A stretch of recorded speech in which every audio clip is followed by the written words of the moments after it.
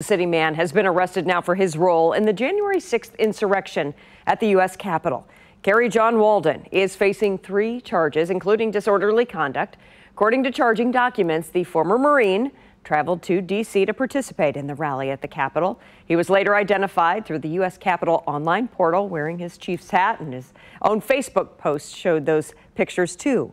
Walden was interviewed by the FBI in February, gave them videos and pictures from the rally, even showed them where he entered the Capitol.